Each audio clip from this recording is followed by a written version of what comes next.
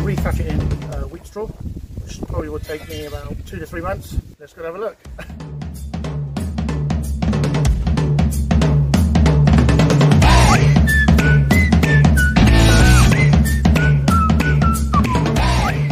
Right, this is the old thatch on here.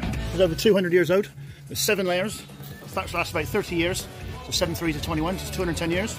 It's held on with tar twine, which was made before string. And they just had one single layer. This is no dolly. This is an goes on.